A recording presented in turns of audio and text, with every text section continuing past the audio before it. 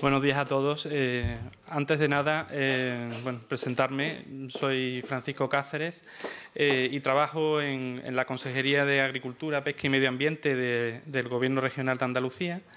y bueno, soy uno de los responsables de la Red de Información Ambiental de Andalucía, que es un poco la experiencia que venimos aquí un poco a presentarles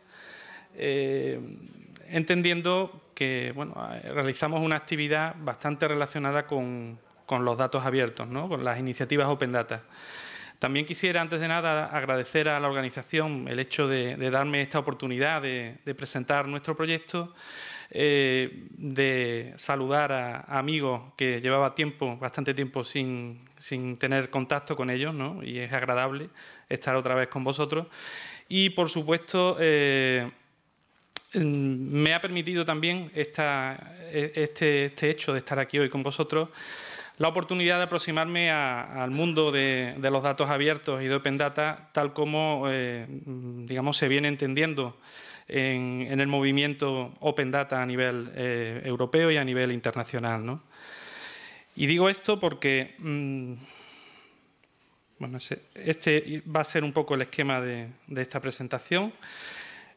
En primer lugar, eh, decía que, digo esto de la oportunidad de aproximarme al mundo de Open Data, porque eh, aunque nosotros llevamos, desde la Red de Información Ambiental de Andalucía, llevamos 30 años trabajando en, el acceso libre a la información ambiental, de carácter ambiental de, esta región, pues nunca nos hemos etiquetado, nunca mm, en, ningún sitio podréis encontrarnos eh, mm, relacionados con, iniciativas Open Data y considerados como un portal de datos abiertos. Entonces, lo primero que, me lleva a esto es a, realizar una, reflexión eh, realmente si nuestra experiencia como Red de Información Ambiental de Andalucía les puede ser útil a ustedes como mm, promotores y, en algunos casos gestores de portales de datos abiertos. Y he pensado que esta reflexión personal en principio, pues eh, la puedo compartir con, ustedes y puede ser interesante. Nuestro punto de partida, nuestro ámbito de trabajo dentro de la Red de Información Ambiental de Andalucía es la información ambiental. Eh, decir que, bueno, que la información ambiental está dentro de un marco normativo bastante avanzado que se inicia en los años 80 y que, bueno, que ya en, el año 90 había una directiva de libre acceso a la información ambiental que, bueno, en convenio de ARUS, un convenio internacional suscrito por, España, pues digamos, se, sientan las bases del derecho al acceso a la información ambiental como un derecho universal, unido también a la participación en materia ambiental de los ciudadanos y al acceso a la justicia también en materia ambiental.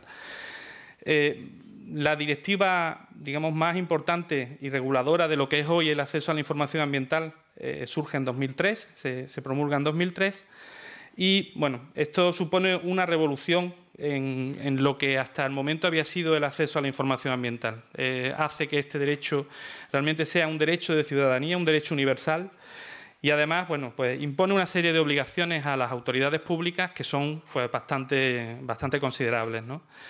Eh, en esa fecha, pues decir también que coincide en la fecha con, la directiva actual eh, relativa a la, reutilización de datos del sector público y decir también que en el año 2007 aparece pues una, directiva también importante que ha sido mencionada hoy, la directiva ISPAI, que habla de, eh, de, cómo deben organizarse y cómo debe ponerse al público y compartirse. Esta directiva es más instrumental, dice cómo hay que hacerlo eh, la información ambiental de carácter espacial. Decir también que eh, Andalucía se ha significado eh, por, un, digamos, una atención especial a, esta, a, esta, cuestión, a la información ambiental, y que, bueno, y que ha desarrollado en su, en su legislación instrumentos bastante operativos, en este caso, para garantizar ese acceso a la información ambiental. ¿De qué estamos hablando? Pues al final eh, toda esta normativa mm, la tenéis resumida básicamente en, esta, transparencia, ¿no? en esta diapositiva. Por un lado, eh, el derecho al acceso a la información ambiental son unos derechos mm, del ciudadano, un derecho a acceder libremente a la información del medio ambiente que obra en poder de cualquier autoridad pública, mm, no solo autoridad en materia de medio ambiente, sino cualquiera, autoridad pública. Eh, es un derecho eh, universal que puede ejercerlo cualquier ciudadano, cualquier asociación, cualquier empresa, sin necesidad de eh, acreditar condición de interesado. Y esto es una novedad con respecto al acceso a la información que obra en poder de las administraciones. Es un caso especial el, caso, el caso, de la información ambiental, donde no es necesario acreditar esta condición. Es una ley, además, es una normativa que tiene muy pocas excepciones, eh, en, muy pocos casos y, muy justificados puede, eh, mm, puede darse eh, argumentos para, no facilitar esa información al ciudadano y además impone unos plazos pues, muy considerables. ¿no? Impone un plazo de máximo un mes para responder a cualquier petición. Esa información puede ser de cualquier tema ambiental y además en cualquier formato. Eh, para esto conlleva obligaciones para la Administración, que también lo veis ahí. ¿no? Pues tenemos que suministrar la información en menos de un mes, hacer difusión activa de la información ambiental, asistir y asesorar al solicitante en su consulta, elaborar listas de autoridades públicas que tienen información ambiental con la información que posee cada uno y eh, una obligación de, agilidad en el trámite y además disponer medios de consulta y fomentar el uso de las nuevas tecnologías. ¿no?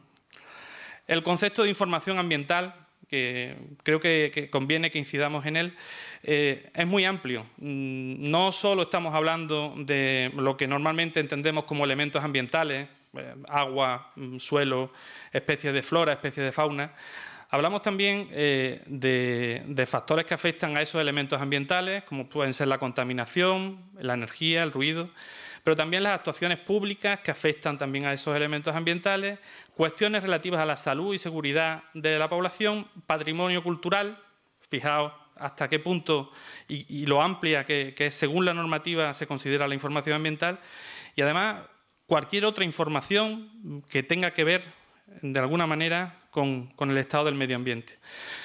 Eh, como decía, esto se complementa con otra, con otra directiva comunitaria, también traspuesta a la normativa nacional, que es la directiva ISPAI, que, bueno, que lo que nos habla es cómo debe organizarse esa información en el caso de ser información espacial, información de carácter geográfico.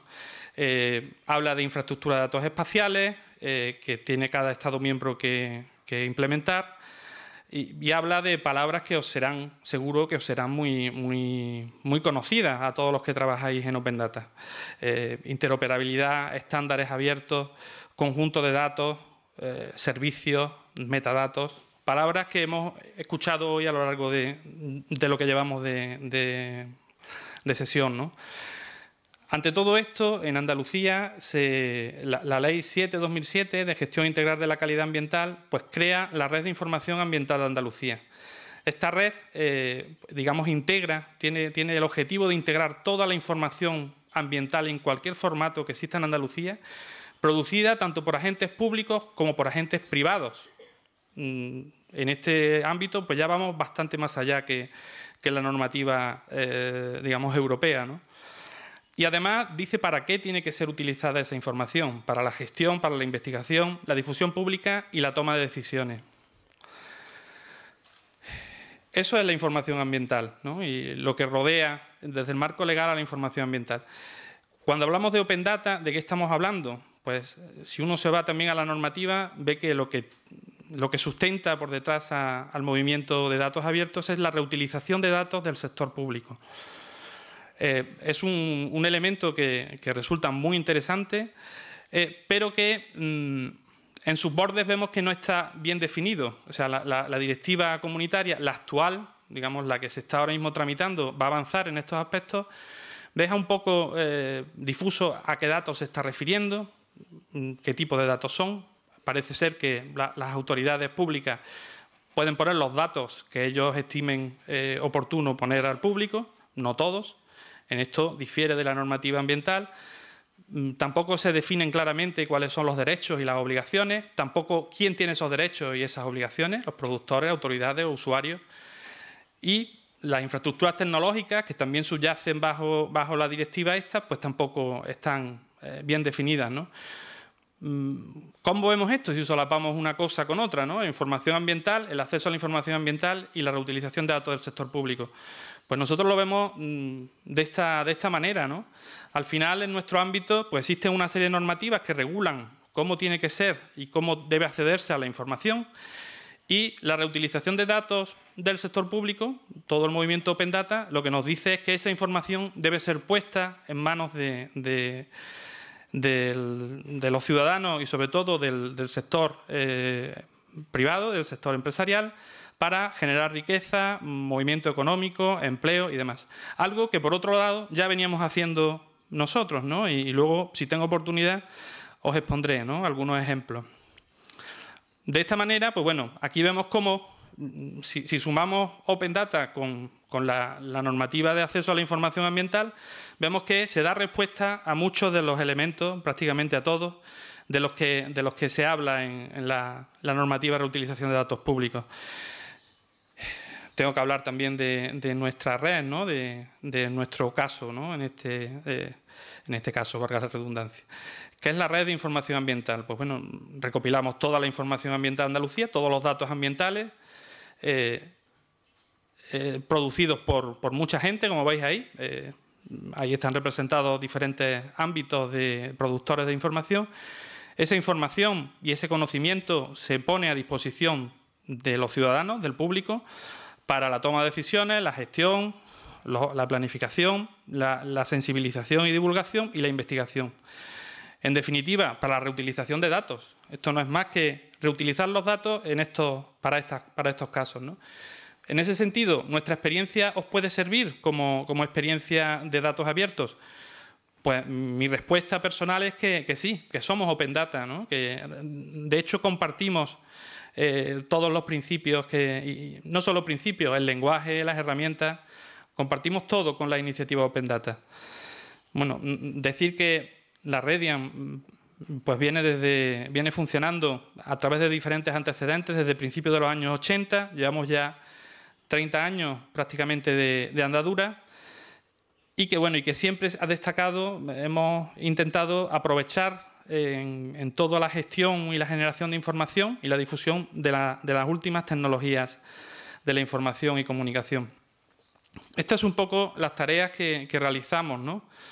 Por un lado veis diferentes productores de información, que no solo somos nosotros, somos productores, desde la propia Redian producimos una cantidad de información importante, pero productores de información, pues todas las consejerías de la Junta, eh, asociaciones, ayuntamientos, empresas, universidades, digamos, todos esos productores producen datos de muy diversa índole, de clima, de agua, de geología, de, todo lo que conforma esa, esa amalgama que llamamos medio ambiente, eh, esa información se recopila, se trata, se normaliza, se, almacena y eh, luego se difunde, eh, como podéis ver. Se difunde y no solo difundimos, sino que además, en algunos casos, aportamos valor añadido a esa información, o sea, convertimos la información en productos de conocimiento, ¿no? en productos de información.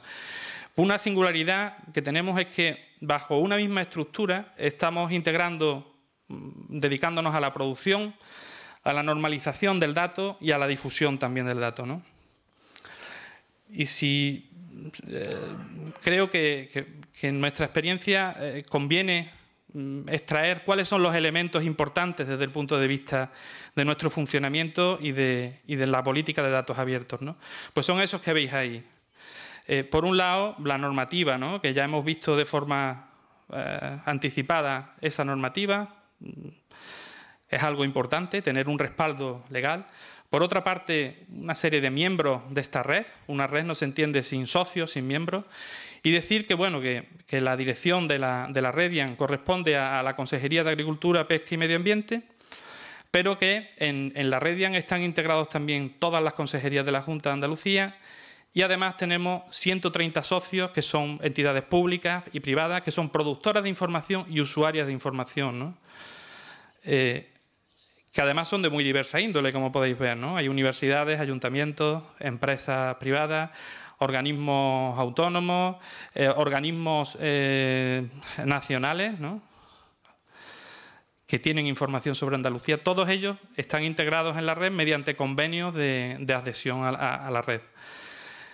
Eh, otro componente importante es el equipo humano. Esto no se entiende sin, que haya unos técnicos especialistas en, diferentes ámbitos del tratamiento de la información y en diferentes temáticas ambientales, pues que, bueno, que, trabajan y que son un poco el alma de, esta, el alma y las manos ¿no? de, esta red. ¿no?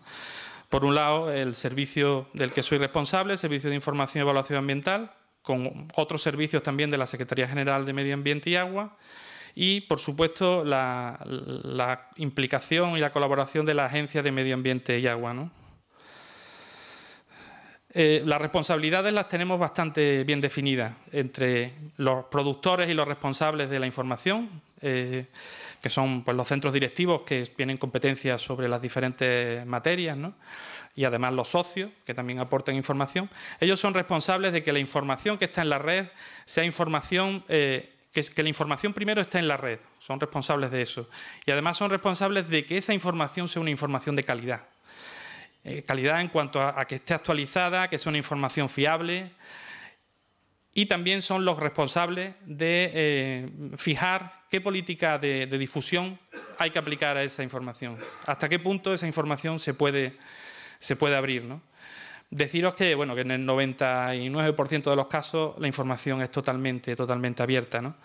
Y por otra parte, pues el equipo de la Redian es el responsable más bien de la organización, la administración y hacer accesible y difundir eh, eh, toda, esa, toda esa información.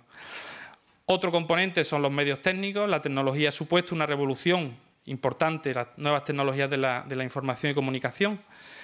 Eh, desde la generación y la captura de la información hasta su, hasta su difusión, pasando por todos los, estratos intermedios.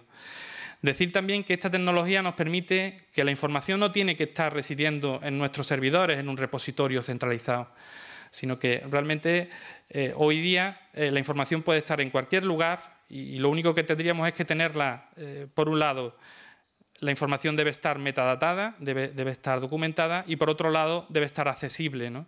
de manera que exista una ruta de acceso a, esa información. Por último, hablar de la información en sí. ¿no? Como decía, la, ley establece una definición tan amplia de información ambiental que es difícil eh, encontrar algún aspecto de la vida que no tenga que ver con, con esto. ¿no? Ahí tenéis simplemente algunas de, esas, temáticas. ¿En qué formato? Pues esto es otra cosa que normalmente eh, los que nos conocen no, conocen bien.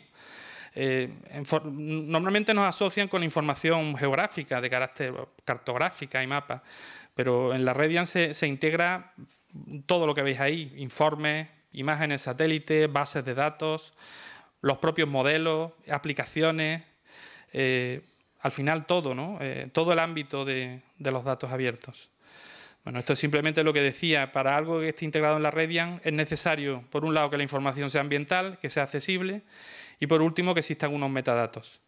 Es decir, también que participamos en diferentes, proporcionamos información y participamos en diferentes redes, tanto mm, regionales, nacionales, europeas, incluso mundiales. Los datos nuestros están en esos portales. Y por dar una panorámica general de, qué supone esta red, pues decir que tenemos un repositorio con 2.300 colecciones de datos, datos complejos, no son PDF, estos son bases de datos, eh, información geográfica multicapa, eh, e información compleja en, su mayor parte, y que bueno, la servimos a través de, sobre todo, de una política de servicios interoperables. Actualmente tenemos 1.300 servicios interoperables en la calle, ¿no? Eh, ¿Qué supone eso? Pues actualmente, dentro de la infraestructura de datos espaciales de Andalucía, pues más del 70% de los servicios que hay ahí son servicios de mapas eh, de la Redian. Incluso otro dato, dentro de la, infraestructura de datos espaciales de España, el 30% de los servicios que están en esa infraestructura también proceden del nodo de la Redian si nos vemos como una iniciativa Open Data o como un portal Open Data, pues bueno, los 2.300 conjuntos de datos que tenemos en la calle, mm, de forma abierta, gratuita, mm, nos sitúan prácticamente a la cabeza de, este tipo de iniciativas. decir que, bueno, que la iniciativa Open Data Euskadi pues, tiene 2.034 conjuntos de datos y nosotros pues, tenemos algunos más. Esto nos sitúa como el mayor nodo mm, IDE de, Europa y no sé, porque no soy experto en Open Data, pero seguro que seríamos una de las mayores plataformas de datos abiertos de, todo el mundo que habla español. Decir también que nuestra difusión eh, se basa sobre todo en servicios, en la generación de servicios interoperables. Esos servicios, en el caso de la información eh, geográfica, son servicios de mapas web eh, de diferentes, en, diferentes formatos, algunos de ellos solo de visualización y otros también de descarga y edición. bueno, esos servicios tienen la virtualidad de que se mantienen actualizados permanentemente y que además eh, pueden ser eh, utilizados en múltiples eh, plataformas y software. ¿no? Pues ahí habíamos visto uno de, de nuestros servicios vistos con, software de Esri. Aquí ese mismo servicio mm, desde Google Earth, el mismo servicio con GVSIG y el mismo servicio también con, una de, nuestras de nuestras aplicaciones de visualización que también desarrollamos, ¿no? Son mm, aplicaciones propias orientadas a la difusión de la información. Decir también que todo esto está accesible eh, básicamente en un sitio web, que es el canal de, canal de la Redian. Aquí podéis encontrar toda esa información, un catálogo y todos los servicios asociados a, esa información. Decir que, bueno, que el portal de la Consejería de Agricultura, Pesca y Medio Ambiente, en la parte de medio ambiente, pues también somos los que coordinamos los contenidos y la calidad de los contenidos. Hacemos un esfuerzo por, llevar la información al ciudadano y hacerla entendible por este. Estamos un poco evolucionando en la línea de, olvidarnos de que la información es para expertos y yendo un poco más al ciudadano. Y bueno, esta imagen que tenéis ahí abajo es una iniciativa de poner el portal en forma de, visita virtual. Medios de difusión y comunicación, redes sociales, eh, un boletín, el informe sobre el estado del medio ambiente, mm, que es un esfuerzo importante que se hace, una radiografía basada en indicadores y en toda la información de esta red, eh, que supone una iniciativa pionera en Europa. Ahora mismo mm, es obligatorio el generar esto por cualquier autoridad pública, pero nosotros llevamos ya 25 años haciéndolo. Por supuesto, publicaciones tradicionales en forma de libros, de DVDs, multimedia y también importante un servicio de atención eh, telefónica y telemática integral. Cualquier eh, cuestión de información ambiental que uno tenga, pues digamos, tiene un acceso directo a, los técnicos. Eh, respecto a la utilización de datos abiertos de la Redian, bueno, pues ya había dicho antes que aparte de difundir, nos dedicamos también a generar productos que aportan valor añadido a la información, pero nosotros no lo consideramos como una tarea exclusivamente nuestra, que tengamos que desarrollar nosotros. Eh, mm, nuestra idea es que empresas, el tejido empresarial andaluz, digamos, se mueva eh, y, sea el que utilice estos datos para generar valor añadido. En ese sentido, pues somos plenamente mm, coincidentes con, toda la iniciativa de reutilización de datos del sector público. Eh, aquí algunos ejemplos, experiencias que desarrollamos nosotros demostrativas de utilización de datos de la Redian. Pues, mm, por ejemplo, el que tenéis a, no sé si a vuestra izquierda o a vuestra derecha, es un pluviómetro, es algo que es eh, una aplicación móvil que dice eh, qué precipitación acumulada ha habido en la localidad donde uno está o en cualquier sitio de Andalucía. Eh, esto lo que hace es coger datos, mostrar datos que se encuentran en, uno de nuestros subsistemas de información, en subsistema clima, que a su vez integra mm, la información de todas las redes meteorológicas que hay en Andalucía, incluida la, de la Agencia Estatal de Meteorología. Otro ejemplo de, reutilización de datos, esta la hacemos nosotros, ¿no? experiencia demostrativa, eh, aplicada un poco al turismo y al conocimiento del medio ambiente. Pues un mapa guía digital de, un espacio mm, protegido tan importante en este caso como Doñana. Eh, esto, a su vez, genera en el sector privado pues, iniciativas que van un poco en la línea y son similares, y lo que hacen es utilizar esos datos que están, que están abiertos. En este caso, pues, es una iniciativa de, una empresa granadina que se llama iLivery, que ha desarrollado un producto que se llama iNatura, que lo que hace es... Eh, coge información, de información abierta que, ponemos a, disposición de cualquiera y pues lo muestra a través de, de una interfaz móvil, ¿no? Con información también añadida por, los propios usuarios. Eh, a veces la información es reutilizada mm, por otras administraciones o por, otras, en este caso, universidades. A partir de los mismos datos del sistema clima, pues se genera, la Universidad de Sevilla ha generado, como socio de la red, un, portal de indicadores, de indicadores climáticos mensuales. Eh, bueno, trabajamos también en, temas de levantamiento de información en momentos de posemergencia, en este caso a través de imágenes satélite. Y esta información pues, es utilizada por los servicios de urgencia de Andalucía, el 112, tenemos convenio de colaboración también con, la Unidad Militar de Emergencia y, con, por supuesto, con, el propio Servicio de, de, Incendios de Andalucía, el Infoca. Eh, los datos también son útiles en caso de evaluación de impacto ambiental, eh, sobre todo pues, los utilizan muchas ingenierías, muchas consultoras, y sin estos datos, pues digamos, este sector tendría que hacer levantamientos pues, muy costosos de la información. Termino ya. Eh, también decir que otra forma de reutilización de datos mm, pues es la reutilización de aplicaciones y modelos. Nosotros hemos desarrollado con, uno de nuestros socios eh, un visor, eh, que es ese que veis ahí, eh, que bueno, lo hemos utilizado ah, para ver ortofotografía histórica. ese visor, pues la, propia empresa del INCO, nuestro socio, mm, digamos, lo comercializa en el mercado libre y bueno, pues en este caso pues ha sido utilizado para una aplicación del Camino de Santiago. Eso supone la incorporación de unas mejoras que luego se incorporan en nuestros nuevos productos, en este caso el sistema de información del litoral. A veces se nos escapan también quienes utilizan nuestra información. Eh, eh, nuestra información es libre, está al acceso de cualquiera y es difícil seguirle la pista. En este caso, una iniciativa que se llama Google que integra mapas de todo el mundo y que, bueno, que más de 300 mapas de los que integran pues son, son mapas nuestros, ¿no? de los 1.300 que hay en Andalucía.